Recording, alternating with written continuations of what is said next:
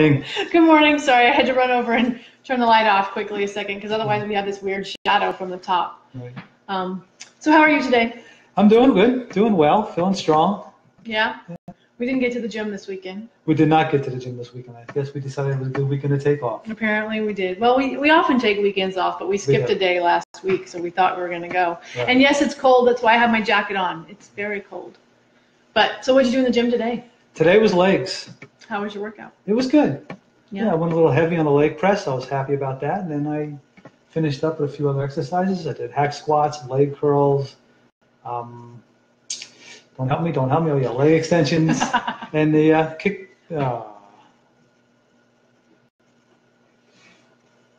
Well, that went away for a second. I don't know what happened. Hopefully you guys didn't get a, a blip. right. But anyway, so you did kickbacks, I mule, did, I did, kicks. right. So my leg workout today was leg presses, hack squats, which is a machine, excuse me, leg extensions, leg curls, and the kickbacks, which is the machine where you're basically pushing your leg I call them mule kicks. Even though you can't see my waist, I thought I'd show you anyhow. How'd your back do? Not bad. I mean, it's still a little twingy. By the way, my back was feeling a little twingy this weekend. I don't know if I slept bad or whatever, but um, seemed to hold up fairly well today. I'm still good. standing, so that's always a good sign. Always a plus, Yeah. always a plus. I did legs today too. Yeah. Um, I started with the bouncing the ball against the wall, which is a little bit of a squat kind of movement. Right? So I did a few of those. And then I did um, a few walking lunges, not as many as I usually do. I only did 90, Mm. which I usually do upwards of 150, but I only did 90 uh, today. And then I did step ups. I did the mule kicks as well. did, yeah. And then I did. I have some floor exercises I do for my legs. Um, I did those, and then I um, talked to somebody about birdhouses. So that's not really an exercise. That's not. What are you No. talking about? Exercise my jaw. Yeah.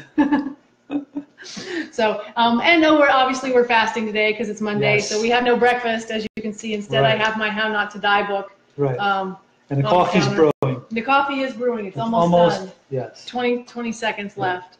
So I'll turn that off in a minute. But we um, we got a question on Friday about where to get iron in a plant-based diet from Lisa, and so we thought we would um, go ahead and re- refresh our memories on iron and that kind of thing over the weekend. And so we have some notes here we wanted to share with you about iron in a plant-based diet.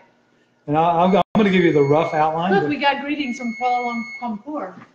hey, greetings. Good morning. Good oh, morning. I should actually turn the coffee off, not There you just go. the timer. I've done that before. Just turn go. off the timer, leave the Um, coffee on. So iron on a plant-based diet. I am going to give you the roughness of it, I guess, or the, the outline of it, and uh, Robin will talk a little bit more uh, detail about it. So uh, basically, with a plant-based diet, it is true that the iron you're going to get from plants, your body does not absorb as well as it does with meat. However, uh, it's an important point to uh, mention that women on a plant-based diet have not shown to be any more iron deficiency, have any more iron deficiency anemia than uh, women that are eating meat. So, um, not as easy to absorb, but it doesn't seem to cause a problem. Right. Um, another important uh, important fact to mention is that uh, if you are um, low on iron, you should try to increase your iron with plants. Do not try to increase it with vitamins. All right, do not's a rough way to say. Uh, but what they're basically saying is that um, supplements have been shown to increase oxidative stress. So, again, you're, you're basically um, introducing something foreign into the body that is not used to getting to absorb it. So, if you can, use plants to get your iron. And here are some plant sources. Let's make it, he asked a question. It says, good to see you both. In spinach, tomatoes, blueberries contain fibers.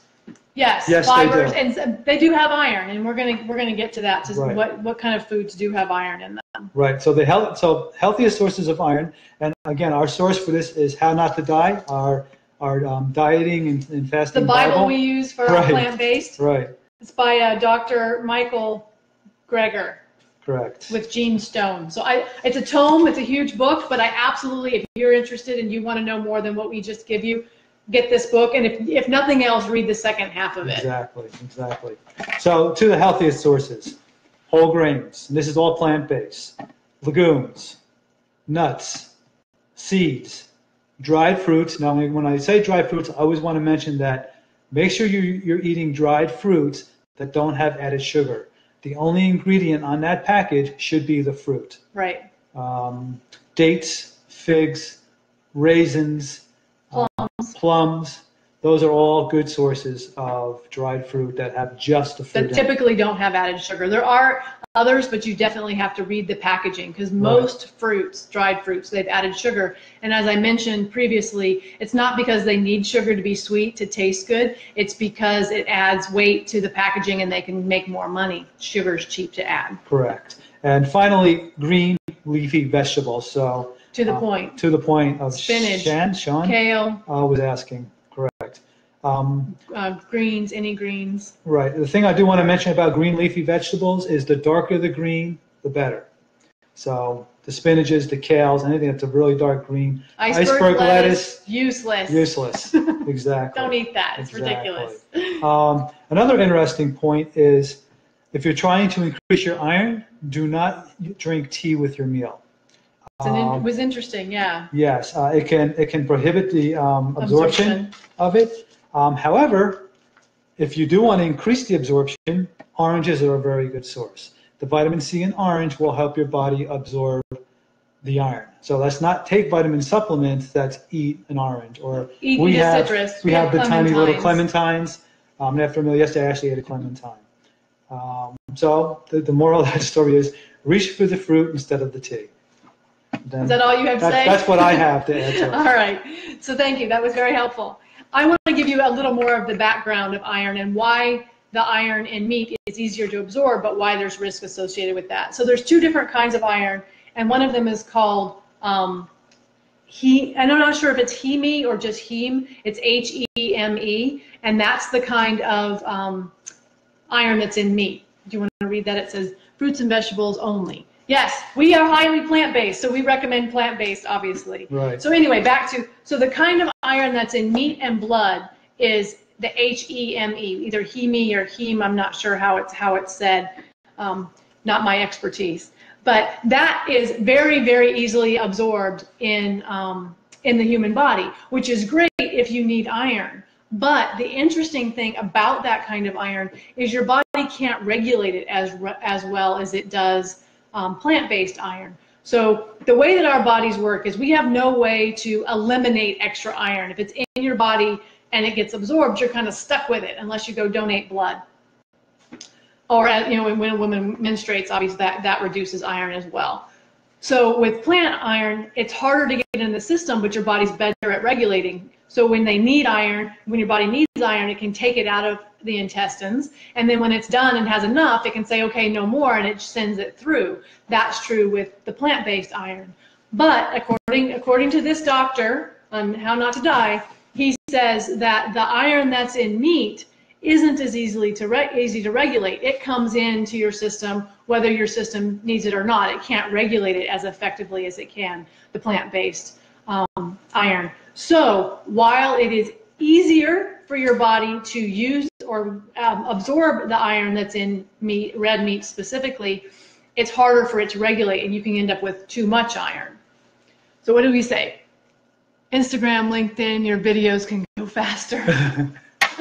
We're learning. We're, We're, trying. we're trying to figure it out. We're not sure how this works. right. Exactly. Um, So when doctors say, especially to anemic women, oh, you should eat red meat, that's because it's easy. It's um, medically, it's the way they usually go. And you know, the the real thing is, is that um, doctors don't get as much nutritional education as you might think they do. So they go with kind of what's top of mind for them, which would be red meat. According to this doctor and this book and everything we've read about plant-based, eating red meat and the risks of coral, coral I can't say it, rectal cancer, cancer, um, heart disease, diabetes, and those kind of things that come with eating red meat um, aren't worth the risk because you can get everything you need from plants. You just have to know where. And as Russ gave, uh, there's a whole list of places that you can get iron in plants. And it sounds like, based on what I'm um, reading here, is that you should go ahead and get it from plants, eat it with some citrus, and it, your body will absorb what it needs and then leave leave the rest behind, Correct. which is you know super healthy. So we've been doing this for a while, and I I haven't been anemic at all. My my iron levels are really good. So Correct, yes. So, um, Sean, I was in Washington D.C. to attend World Bank and IMF's meeting, USA guy. Yeah, healthy living. Good, good job, good job. Um, all right, goodbye, son. Um, so the only thing else I wanted to mention is that to keep in mind for the men out there is getting excess iron in your diet is not as important as it is in women. Right. So, and that that's the thing too. I think that's important about this kind of um, iron that's in meat is that it um it, men can end up with a buildup of. What is Victoria saying? Thank you. Victoria. We did mention legumes as one of the sources to uh, get iron. Yeah, Uh, absolutely. and I'll read that list again quickly. Uh, it's whole grains, legumes, nuts, seeds, dried fruits, again without sugar added, and green leafy vegetables. The darker the green, the better. Um, Yeah. So that, that's what we uh, we caught up on about iron this weekend because we did get the question from and Lisa. thank you, Lisa, Friday. for asking the question. Yeah, absolutely. So we did a little bit of research to give you guys some in, insight into um, iron. Ab- absolutely, you can get plenty of iron in your diet, and it it sounds like it's definitely a better source of iron for you because your body can regulate it more effectively if it's coming from plants than if you get it from meat. So that's something to be aware of. Um, if you guys have any other questions about, you know, basically anything plant-based, uh, exercise, whatever, we we love doing the research. We love learning about it. Right. So it, that's fun for us. So thank you so much, Lisa, for asking that question on Friday. And I would like to say that um, the information you get from us is our experience and our opinions. Um, And if we get re- information from another source, we, We will will always always, share the reference source. it so that you can go and look at it yourself. Right. Um, absolutely. And before beginning any workout routine or changing your diet, absolutely ask your doctor. Talk to your doctor, doctor, your medical doctor. Right. So we're going to be back this afternoon because we're going to show you our 500 calorie fasting day meal. Correct. Um, that's our goal this afternoon. So not sure what time, sometime between 2.30 and 6.30. It's been pushing a little later lately. Right. So definitely we'll, we, we will be back. And I want to, when we come back, I'm going to share with you, I had a really interesting experience. We went out on Friday and I was expecting to be able to eat a specific thing because I'd gone onto um, a website for the their um, menu. And I got there and it wasn't the same thing on Right. the actual written menu. Right. And I was really disappointed. So I want to really share with you, it's the first time that I've been super disappointed about not being able to eat something. So we'll talk about that when we make our 500 calorie meal uh, later this afternoon. Good. So we'll be back with that. Um, anything else you wanted to add? Do you feel like we covered iron well? I think everything for today that we wanted to cover this morning we did, and then Okay. we'll come back this afternoon and, and add some more. All right. It's always good to see you guys. Thanks. I see a whole bunch of you out there, and I appreciate those of you who comment and like and share our videos because you know it's easier to make a difference if everybody knows what we're trying to do here. Right. So thank you for that. You can do our sign off. I am. Uh, and always remember to eat food, not too much, mostly, plants. Have a good Monday, Have a guys. good we'll Monday, see you guys. later today. Bye. Bye bye.